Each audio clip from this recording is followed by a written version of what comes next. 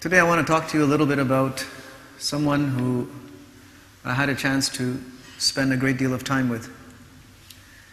And he he's passed away now, it's been a couple of years. In fact, he passed away on the day that I arrived here in Australia the first time in 2016. He was based in the UK, originally from India, and he was a hafiz of the Quran.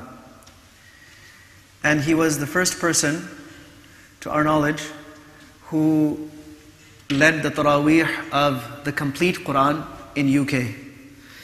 This is in the 1950s.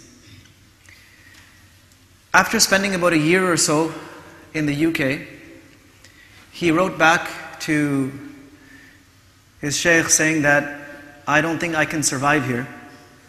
There are hardly any Muslims, there's no environment, there are no mosques, no one practices.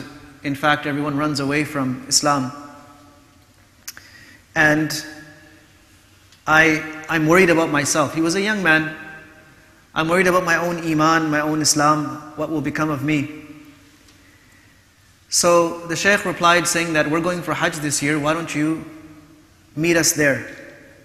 And then we'll talk. So the Shaykh did just that. He, he went and after completing Hajj, they were in Medina Munawwara, sitting in Masjid Nabawi. So the Shaykh, whose name was Shaykh Yusuf, rahimahullah, he asked this Hafiz, whose name was Muhammad, and his surname was Patel. So he was most commonly known as Hafiz Patel. He said, Okay, tell us what your issue is. So he presented his condition, and there were many shuyukh sitting there. So Sheikh Yusuf said, Look, tell me something. All around the haram of Medina, what do you see? He said, Marketplace, stores. He said, That merchandise, where is it all coming from? He said, It's coming from different parts of the world. Some of it is from one country, some of it is from another. A lot of it, a lot of the brand name things are coming from, from Europe. He said, Isn't that interesting? That they were able to bring their merchandise right up to the haram, the haramain, in fact. And when you go outside, you'll find merchandise from coming from the Western countries, and it's readily available there. So they've surrounded our haram with their own environment, so to speak, through their merchandise. So why don't you go to their countries, go to their London, and create an environment of the haram, and bring the merchandise of the haram there, which is hidayat, guidance. That's what spread from Makkah and Medina. And then he became very serious. And with tears in his eyes, he said that Hafiz, if you were to do this, Allah subhanahu wa ta'ala will make you the Imam of your time. So Hafiz Patel Sahib, rahimahullah, decided that that's it, I'm going and my work is cut out for me. And after coming back to the UK, he started working on people. And at that time, many people wouldn't listen to him. People would make fun of him. They would say, What's wrong with this guy? You know, we've all come here to make a living for ourselves, and we are so eagerly adopting the ways of the Western culture, and he's telling us about deen and sunnah and so on and so forth.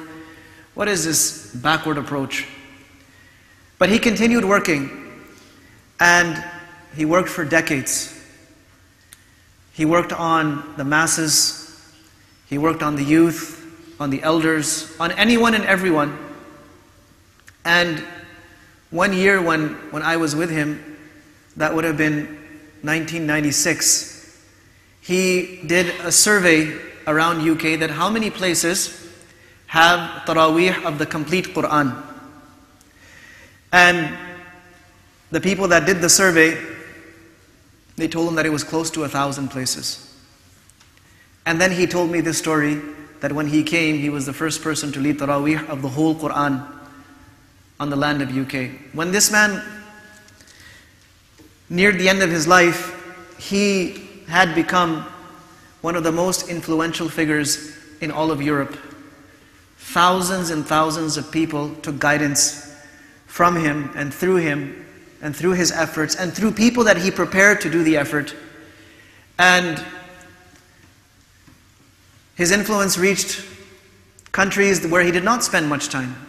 Today, in Albania, there is a masjid that's named after him, and there's a highway, there's a freeway that's named after him because of the influence that his effort had on that area in preserving Islam after the effects of communism. This man I observed for many, many years, and he had a habit of not just praying tahajjud, but he would spend one hour praying tahajjud and one hour making dua every single night. And he would take his time in tahajjud, and he would take his time in dua, and he would take the names of anyone who had requested him for dua, and he would take the names of all of those people that he felt needed dua, and, and he would cry in front of Allah subhanahu wa ta'ala for them. And he has left behind a legacy of thousands of people. And though he was not a full-fledged alim, as we would say, hundreds and hundreds of people became ulama through him. And he was the murabbi of ulama. He was the one who mentored ulama and took care of them and trained them and disciplined them and put them to work around the world. Sometimes we look around and we get disheartened by the overwhelming environment. We say, well, how are we? If we tell a youngster to guard their gaze, we say, what are you talking about? In this environment? How are you possibly supposed to guard your gaze? You talk to someone about having a sunnah appearance, they say, it looks so awkward in this society. What will people say? We talk to girls about hijab, they'll say, it's very difficult. Our friends, you know, look at us so awkwardly. We, we, we are made to feel so uncomfortable. So all of these are realities. But there is also another reality that all of this can change. And it can change to such that through the efforts of this man, if you were to go to those cities where he worked on, where he laid the foundations of his work, you would think that there in the middle of the, of the UK are cities that are completely Islamic. You'll go to areas where you will hardly find anyone who is not wearing Islamic dress. In the middle of the UK. When there was a time, people of that country told me, because in the old days, the way the houses were made, the toilets would not be inside the house. There would be a little outhouse in front of the house, a small structure. So they would go there to use the toilet.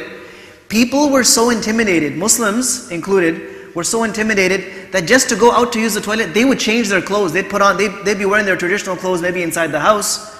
But just to use the toilet, they'd put on a nice pair of pants and a shirt and then go because my British neighbors might see me. What would they say if they see me dressed like that? From that level of intimidation and hesitation to a level where you can you will go and roam about and you will be amazed at what you see. You'll see ladies, almost every woman is wearing either a niqab or at least a hijab. Little children are walking around with, with the sunnah caps. And subhanAllah, you will think that you're in a Muslim country. This is not a coincidence that happens. This is people getting to work. This is people really digging down and saying, no, we're going to make a difference. We're going to change the environment. And it's possible. And people like Hafiz Patel Sahib, rahimahullah, showed us that it can be done and it can be done today. May Allah subhanahu wa ta'ala enable us to be inspired by these people and follow in their footsteps and use us also for the spreading of hidayat. وصلى الله وسلم وبارك على نبينا محمد وعلى آله وأصحابه